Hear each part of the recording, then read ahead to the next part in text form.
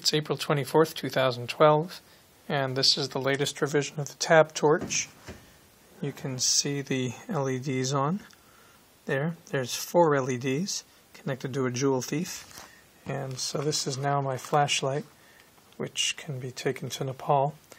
And the power source for these LEDs is in this bucket here, and it is the tab torch we've talked about. The power source is this Brillo pad.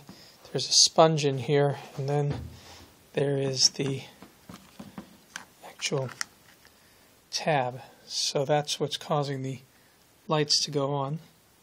As you can see, when I stick the tab in the sponge, the LEDs go on. So the tab torch is working fine. Using the perf board was a problem with a bad soldering iron. Kept getting cold solder joints and that held things up. But it is nice to uh, finally have this result. And uh, there's just water with Drano in it, with um, crystals actually of sodium hydroxide.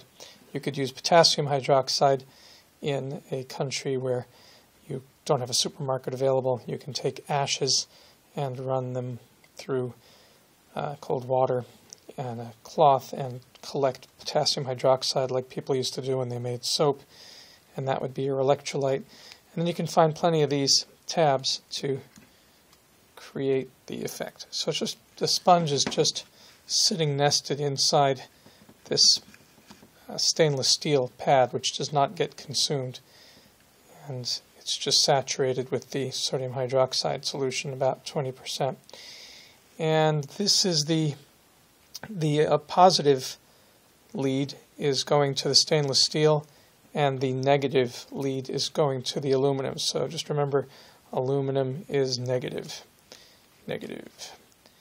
And I've made this so I can carry it about. I can put this lid on. And uh, so that can be carried around.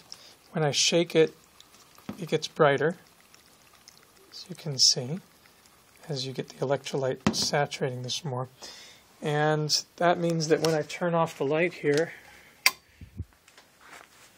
as you can see, it's um, it's quite bright. It's certainly bright enough to to read by, and uh, flashlight can be used as a flashlight you can see that that says dryer. So you can get by with it, you can navigate with it, and you can read at night.